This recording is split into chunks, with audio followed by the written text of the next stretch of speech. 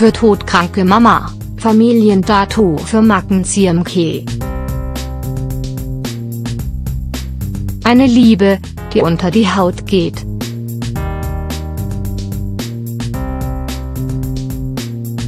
Für Marken CMK, 23, startete das Jahr mit einer wahren Hiobsbotschaft.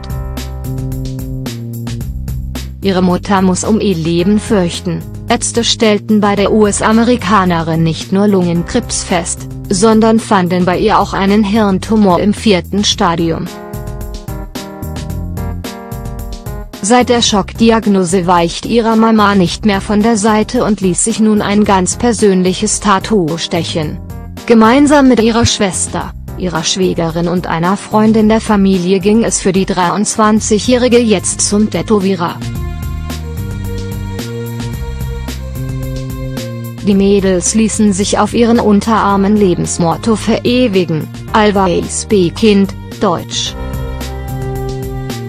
sei immer freundlich.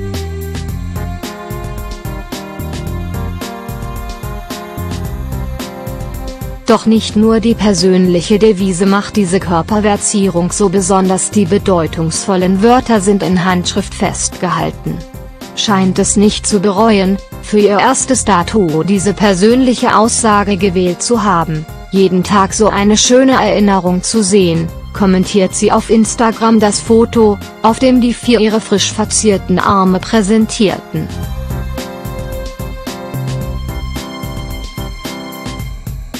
Teilt ihre Erfahrungen, Hoffnungen und Ängste auch mit anderen Betroffenen im Netz.